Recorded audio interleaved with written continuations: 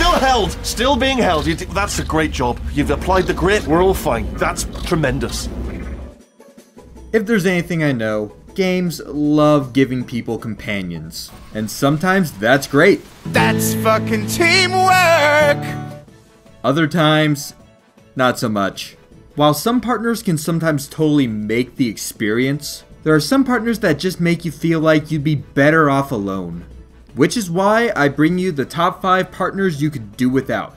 Now let me clarify some things. Not everyone on this list is a terrible character, only most of them. There are actually a couple characters that I really like, but for as much as I like them, these are characters that I feel are either annoying, unreliable, or unnecessary to the game. Now with that out of the way, what's going on everyone? I'm Warbot and let's get started.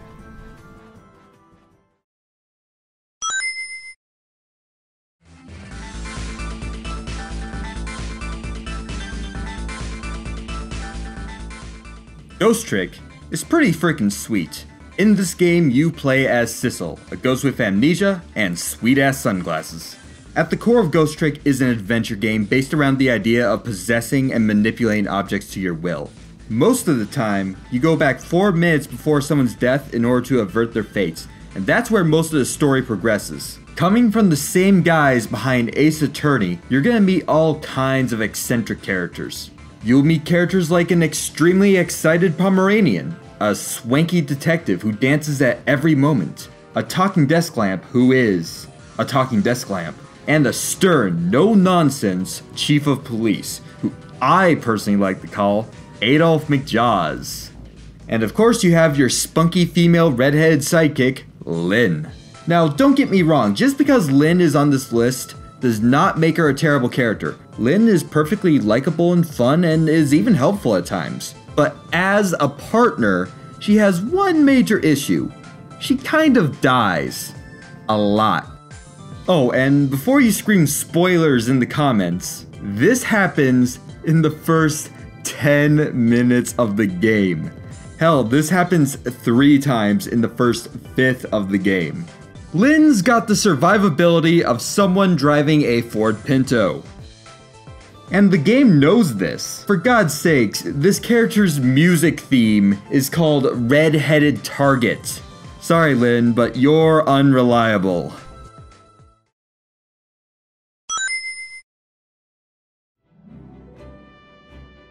As dumb and cheesy as it sounds, variety is the spice of life. We all know this. The Final Fantasy mages sure know what I'm talking about. You have all kinds of different mages. You have your black mage, white mage, red mage, green mage, beige mage, cage mage, and of course blue mages. But to be honest, blue mages are not exactly my favorites. Unlike the other kinds of mages, blue mages learn and use abilities from monsters. Now that sounds pretty cool, and it is. But the downside with blue mages is that depending on the game you're playing, they can be kind of a nuisance to use. Enter Final Fantasy IX's Quina, or is it Quina? As a blue mage, how does Quina learn her abilities? Is it by studying her opponent's every move and then duplicating their moves with extreme precision? Pfft, no, she eats them. But let me tell you, she is a picky eater. Trying to learn new abilities by eating monsters is like trying to catch a rare Pokemon. You have to get their health just low enough. Fuck! And speaking of Pokemon, look at Quina's design. It's like the horrific love child of a Lickitung and Chef Boyardee. As far as her personality goes, Quina has only two things to her thinking about food and speaking in broken English. It should come off as no surprise that Quina is a flat, annoying character. But I have a theory. One of the lesser aspects of Final Fantasy IX was that it made a few infamous nods to Star Wars Episode 1. I'm talking specifically about the scene right before the Necron fight, the Yoda quote. This nod makes me wonder if there were any other inspirations taken from Star Wars. Hmm. Nope, can't think of anything.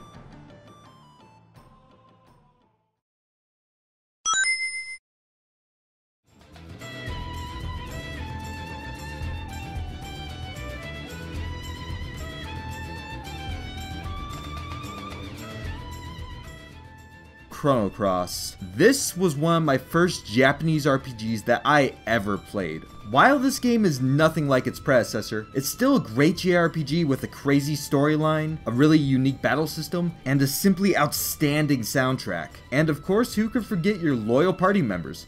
You know, guys like that guy, you know, he had magic and a staff.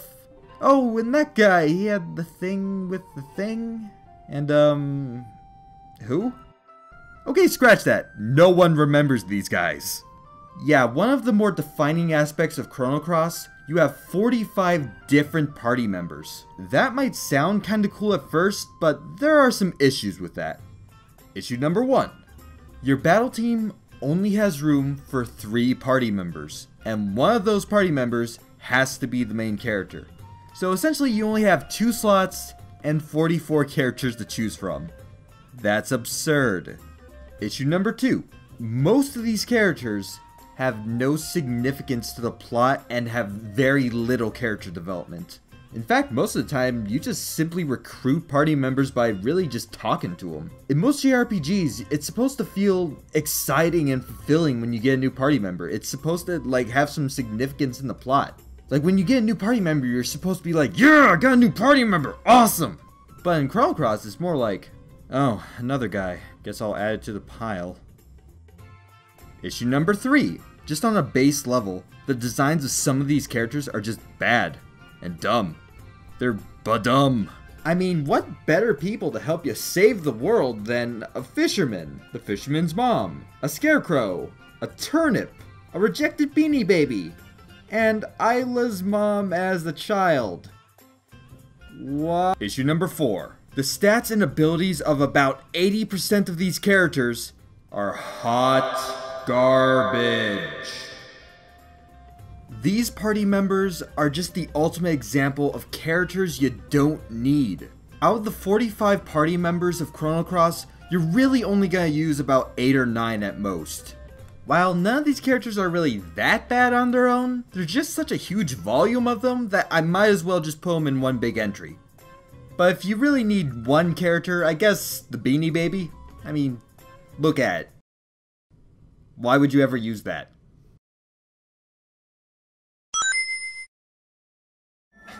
Where's everyone going? Bingo? If you've been living in a cave for the last 10 years and have not played Resident Evil 4, A. Go play it, and B. There are only three things you need to know about Ashley Graham. Number 1. She is the poster child for annoying escort missions. During these missions, I can guarantee you she will die at least three or four times. And no, not by the actual enemies. She's gonna get shot by you. She is the prime example of an attention whore. And by attention, I mean gunfire. I could not tell you how many times I would have my shotgun aimed at an enemy's head and then have Ashley pop up right as I pulled the trigger. Number 2. She is worthless as a character. Just in general. The game begins with her as a damsel in distress, and the game ends with her as a damsel in distress. And finally, number 3. Her favorite word is. Leon!